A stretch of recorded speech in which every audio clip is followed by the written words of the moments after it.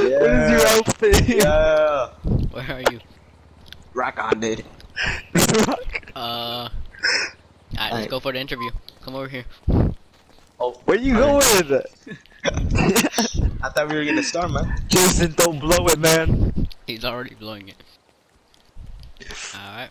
Hold on, let me check out my glasses. So, sir, uh. What's your story? Why are you here? Yeah. Yeah.